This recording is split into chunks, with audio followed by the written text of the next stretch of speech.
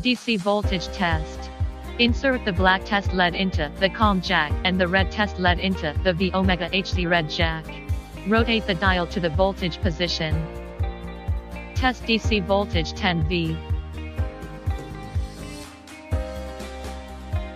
Press and hold the select key to select DC gear.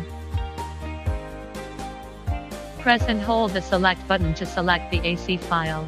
Test the AC voltage 10V. Frequency and duty cycle. Input AC voltage 10V. Press and hold the select button, and HZ appears on the LCD screen, which is the current test frequency. Press and hold the select button again, and percent appears on the LCD screen, which is the duty cycle currently being measured. Resistance test.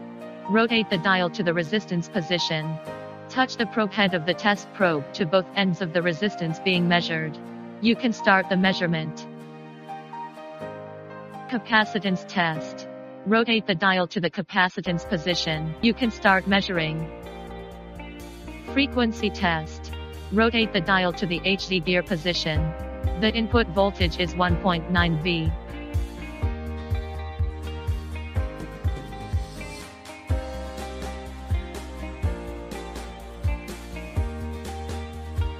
AC current test. Rotate the dial to the 600 A current position. Test AC current 100A. Test AC current 500A.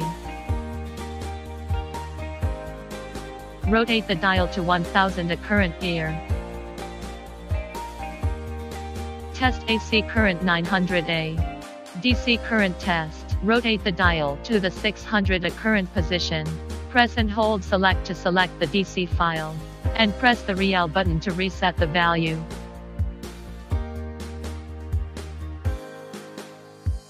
Test DC current 100A. Temperature test. Insert the red end of the temperature probe into the T plus jack and the black end into the T-COM jack. Rotate the dial to the Fahrenheit Celsius position.